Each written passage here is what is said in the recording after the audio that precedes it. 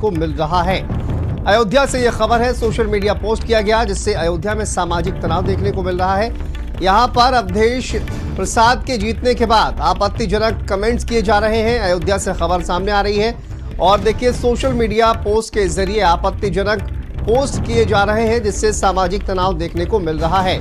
आपको बता दें कि जिस तरह से इंडिया गठबंधन ने अयोध्या में जीत हासिल की है, उसके बाद से ही लगातार अयोध्या और वहाँ के लोगों को लेकर सोशल मीडिया पर तमाम तरह के कमेंट्स सामने आ रहे हैं वीडियोस सामने आ रहे हैं। लेकिन अब देखिए, सोशल मीडिया पर इस तरह के कमेंट्स की वजह से सामाजिक तनाव भी देखने को मिल रहा है। अयोध्या पुलिस ने अभी तक कोई इस पर एक्शन नहीं लिया है और इसी तरह के सोशल मीडिया पोस्ट की भरमार देखने को मिल रही है। आपत्तिजनक कमेंट्स में अयोध्या वासियों के लिए घिनौनी बातें लिखी जा रही हैं। बेहद आपत्तिजनक बातें जो है वो लिखी जा रही हैं अयोध्या वासियों के लिए और इसी को लेकर अयोध्या में सामाजिक तनाव देखने को मिल रहा है। फ़िलहाल पुलिस ने इस पर कोई एक्शन नहीं लिया है और ये इस तरह के पोस्ट लगातार वायरल हो रहे हैं। अयोध्या पुलिस ने अभी तक कोई एक्शन इस पर नहीं लिया है।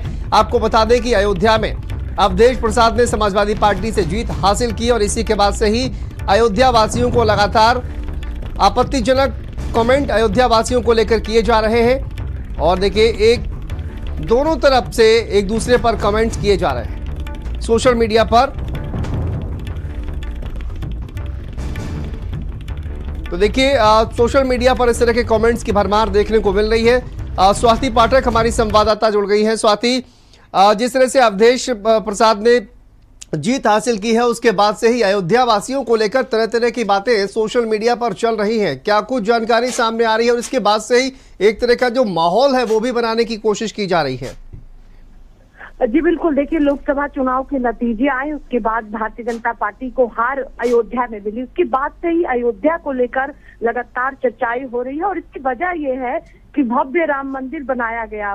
जो है कार्यक्रम प्राण प्रतिष्ठा का किया गया और उसके बाद बीजेपी को वहाँ पर हार मिली है।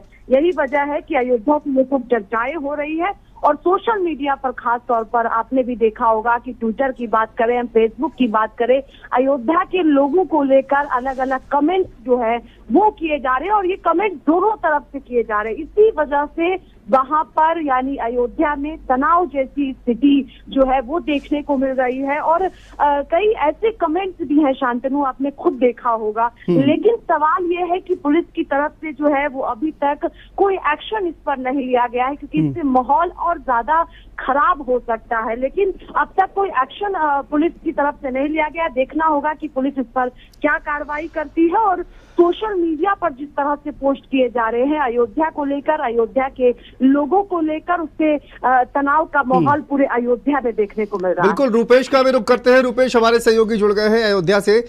रूपेश सोशल मीडिया पर देखिए अलग ही एक एक तरीके से कहा जाए कि नैरेटिव बनाने की कोशिश की जा रही है। अयोध्या वासियों को लेकर अलग अलग तरह की बातें सोशल मीडिया पर की जा रही हैं। आपत्तिजनक बातें की जा रही हैं कमेंट्स किए जा रहे हैं। और इसमें समाजवादी पार्टी के जो प्रत्याशी हैं, अवधेश प्रसाद, उनकी जीत हुई है और उसके बाद से ही लगातार इस तरह की बातें सामने आ रही हैं, जिनमें अयोध्या वासियों को गद्दार जैसे शब्दों से इस्तेमाल उनके लिए किया जा रहा है। तो इसको लेकर क्या जानकारी सामने आ रही है और सोशल मीडिया पर इस तरह की बातें, क्या कोई एक्शन अभी तक लिया गया है? देखिए, एक्शन अभी तो कुछ नहीं लिया गया है, लेकिन जिस तरह से बात की जाए तो जितने भी यहाँ के सोशल मीडिया के लोग, यहाँ के लोग हैं वो सोशल मीडिया पे जो यहाँ अयोध्या के लोग हैं उनको अभद्र भाषा का प्रयोग करके कह रहे हैं कि गद्दार हैं। इन्होंने जो है बीजेपी को वोट नहीं किया इन्होंने राम का नाम नहीं लिया राम के सज्जा नहीं रखी इन्होंने पूरे अयोध्या में ना कटा दिया। इस तरह की बातों का प्रयोग कर रहे हैं और बहुत ही अभद्र भाषा का प्रयोग कर रहे हैं। तो देखा जा रहा है कि जब से अवधेश प्रसाद की जीत हुई है हम्म। तब से सोशल मीडिया पे ये कार्य जारी है और निरंतर कार्य किया जा रहा है। अगर सोशल मीडिया की बात करें ऐप की बात करें अगर ऐसी ही बात करें व्हाट्सएप पे बात करें तो लोग अभद्र भाषा का प्रयोग कर रहे हैं और इस अयोध्या वासियों को अब शब्द कह रहे हैं कि हम्म। अयोध्या वासियों की वजह से ऐसा हुआ है। लेकिन बात कुछ और है और उसको इसको लोग जाने की कोशिश नहीं कर रहे हैं। लेकिन बात उड़ाने की कोशिश कर रहे हैं फालतू की बातें कर रहे हैं अलजू बातें कर रहे हैं जो अयोध्या वासी है उनको अपशब्द कर रहे हैं कि इनकी वजह से अयोध्या हार गई है। तो जिस तरह बात की जाए ये मामले को संज्ञान में लिया यहाँ के अधिकारियों में लिया है लेकिन कोई कार्रवाई नहीं हुई इस पर चलिए ठीक है रूपेश बहुत बहुत शुक्रिया। स्वाति आपका भी बहुत बहुत शुक्रिया जानकारी के लिए।